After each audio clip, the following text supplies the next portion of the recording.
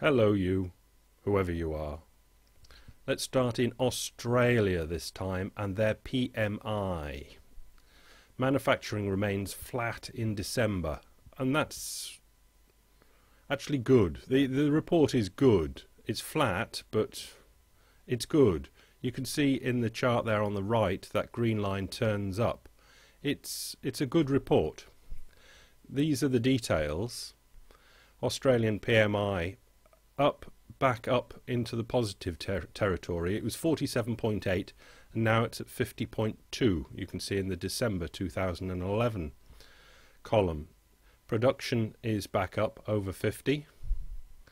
Employment is increasing. New orders are increasing. Inventories are increasing. Supplier deliveries have increased as well. So you can see the report is really quite good. I've kind of highlighted input prices because they're up a slightly again and if there wasn't going to be a world recession that would be overheating a bit. Selling prices that I've kind of linked to there are up as well but they're below 50 so margins are being um, squeezed in Australia average wages are up again quite a lot. So if it wasn't going to be a world recession, uh, definitely Australia would be overheating again. Capacity utilization is up and again signs that inflation probably would feed through at those sort of numbers. But that middle one that I've highlighted in yellow, exports down 6 from 53.4 to 47.4 that'll probably be China and China's slowdown. And all of these numbers are really not completely dependent on China, but whatever happens in China will be a great mover for what happens here in Australia. As I say so many times. Let's move on to Canada and the headlines does us RBC Canadian Manufacturing Purchasing Managers Index finds output growth strengthens to eight month high in December. Canada is kicking it good style. They're doing well. The UK manufacturing PMI, manufacturing production stagnates in December as new orders inflow remains weak, but that's not too bad. It's not disastrous. I've highlighted the first line of the summary the UK manufacturing sector showed signs of stabilisation at the end of 2011. You can see in those charts the blue line has a little tick up at the end of 2011. Certainly not disastrous for the United Kingdom. And the global PMI. All of these are thrown into one and to make the big global PMI and it edges back into expansion territory in December. So similar picture to the UK, but an expanded out macro to the world, and um, a little. It had just dipped below 50, but it's just gone back over 50, which is going in the right direction. And the note there is global manufacturing employment increased for the 25th consecutive month in December, with the pace of jobs growth the quickest since July Staffing levels were raised in the United States, Japan, Germany, France, Austria, Canada, Russia, India, Taiwan, Ireland, and Turkey. So, nothing disastrous in those PMIs. Right, let's get back to MMT and the job guarantee idea. This is Edward Harrison Credit Write Downs who's having his say about it and tells us again over the holidays, a debate broke out in the blogosphere about the so called job guarantee idea that the MMT folks have bandied about. I call this controversial idea unemployment insurance for the 21st century, something I first addressed in 2009 based on a Randall Wray post. Um, all in all, Edward Harrison is not for the um, unemployment insurance of for the 21st century. Not against it completely, but certainly not for it. So let's read a few of his thoughts. this is from the body of the article. I was having this conversation with Scott Fullwiler and Randy Wray, their two MMT types. Yes, they both indicated they were concerned about cronyism and the predator state. So you are right that this is something that concerns them. Perhaps I shouldn't say I am more negative than they are on that level. Perhaps I should say that they are more convinced that full employment is the primary goal of government, and this is what we get from the progenitors, is that the right idea? The developers of the first ideas of MMT, as I said yesterday, they looked into government accounts to see if a full employment program would be possible, and it's there that they found that yes, um, modern governmental accounting is not restricted in any way in monetary sovereign nations, and a full uh, jobs guarantee program would be possible. So those initial people are um, more convinced than Edward that full employment is the primary goal of government. Above everything else, just get all the people employed where I think Scott, Randy, and I agreed as to the cronyism and resource misallocation is less important than the output gap from underemployment in a massive recession like the one we have had. Um, output gap is the potential that the that the country can do. Uh, the the factories that are idling or idle, that is potential um, output gap, and that can be um, that's the gap. that's the output gap where um, a factory or any sort of business is not being used to its full potential. Uh, massive recession that we've had and are still having because the unemployment and output gap is still large. Dun dun dun dun uh, underemployment and massive recession like the one we had, if you had to err on any side, it would be on the side of increasing demand in orders to close the output gap, even if that meant some level of government waste and cronyism and resource misallocation. The alternative is to allow labour to sit idle and thus miss out on tens of billions of potential production. So they recognise the cronyism and um, mi resource misallocation probability, but think, well, look, if it comes to it, which are you going to err on the side of? And they say, well, if, if you've got to, if you've got this crony capitalism and this likelihood for misallocation, you've just got to wear it to a certain extent to get these people employed but know that you've got that problem and work on that uh, misallocation and cronyism uh, problem at the same time. But don't just have people sitting at home. One more thing about cronyism that has to do with the present political debates. I think this goes to my point more and is something I have discussed quite often with Marshall Auerback the Obama administration is seen as having used Keynesian stimulus as a primary tool in dealing with this crisis. In my opinion, it is relatively certain that the economy would be in worse shape if they had not done so. The same goes for the liquidity provided in QE1. What he's saying there, it's not brilliantly written, or I'm just taking it from a, a longer article, so it's hard to understand cronyism and misallocation give those projects' overall title a bad rap, as in the Keynesian stimulus, because we know it went to um, pork barrel projects and lots of things that were rubbish. The whole idea of a Keynesian stimulus has got now got a bad name.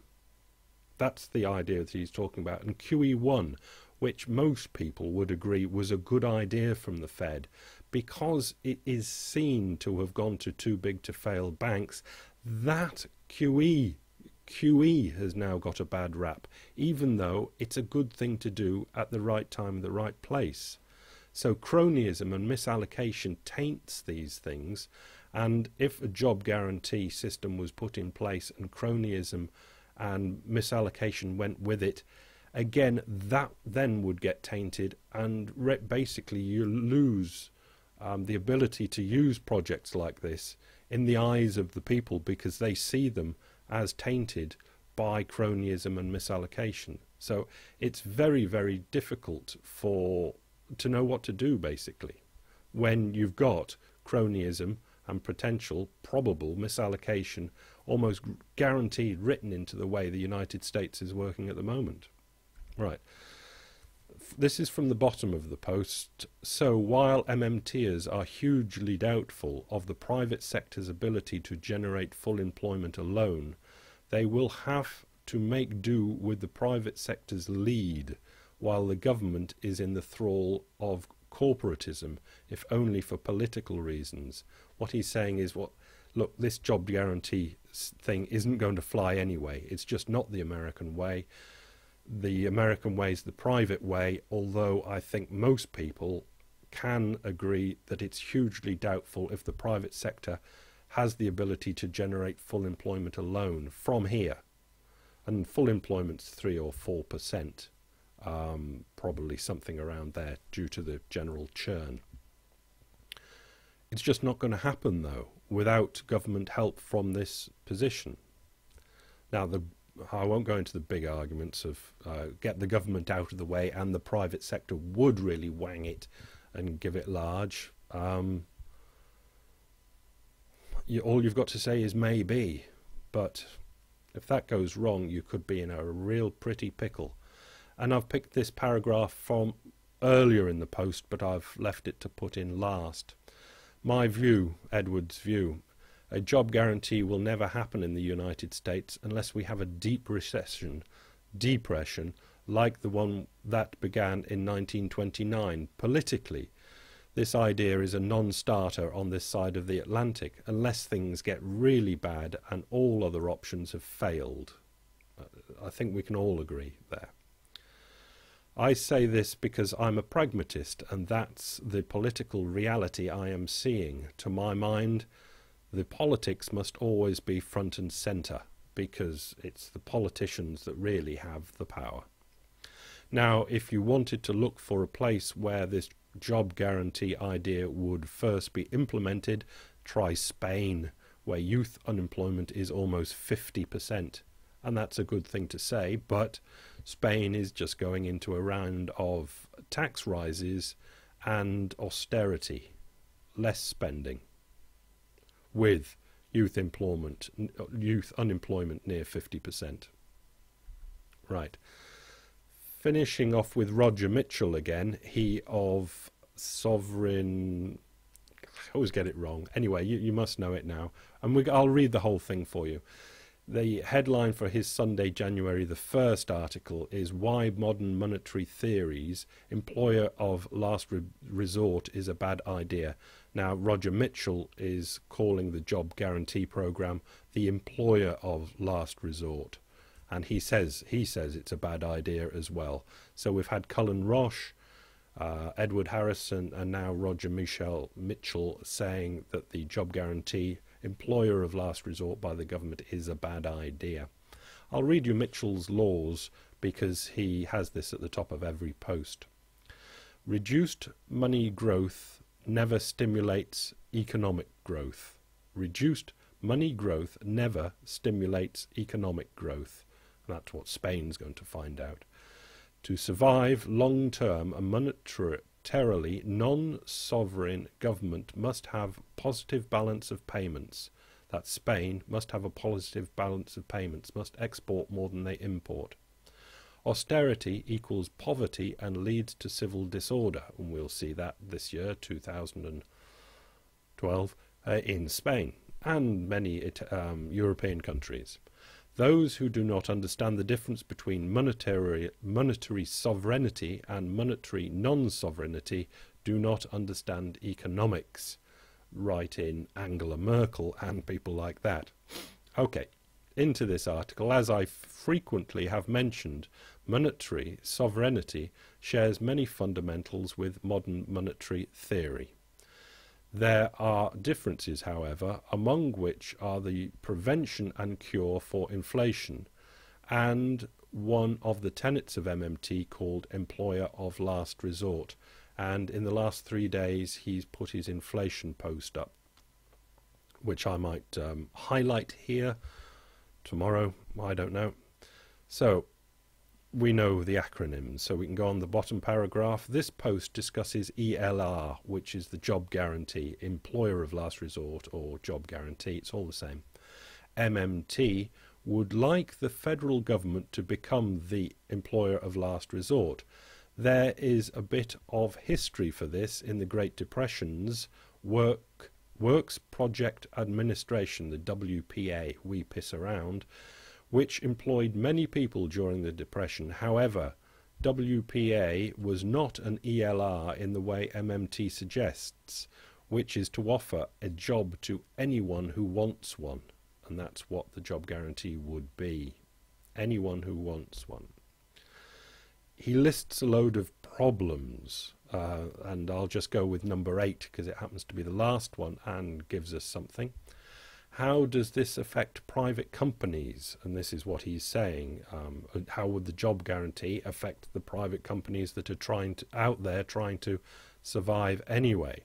That provide the same products and or services being provided by the ELR, employer of last resort agencies. Providing money to the unemployed would stimulate the economy.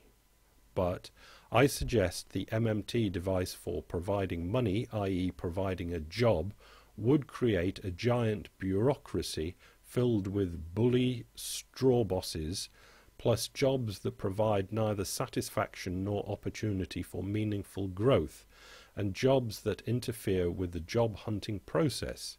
It would doom us to a nation filled with non-productive equivalents of fast food servers and Walmart greeters. He highlighted this yellow, I didn't. That's why it's neat.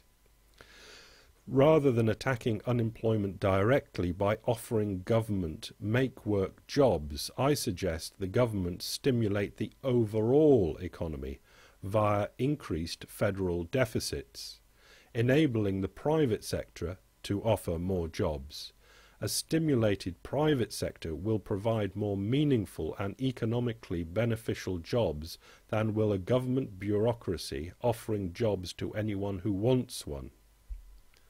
And then says, because you adherents of MMT have given much thought to the uh, ELR, I welcome your comments, etc. So you can see there's dispute out there, but there is still no dispute that if the government wants to, it can pump as much money into the economy as it seems fit to do.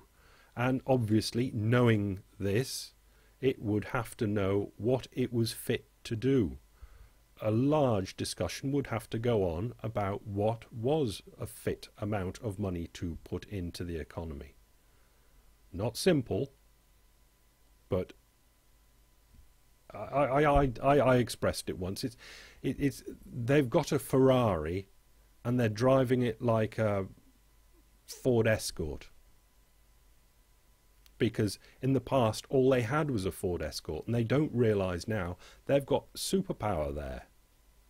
But they just don't know how to use it. And the only way to know how to use it is to edge into it and get a lot of brain power in there and experience and try and use it to the best of its ability. At the moment, they are surely not. Bye.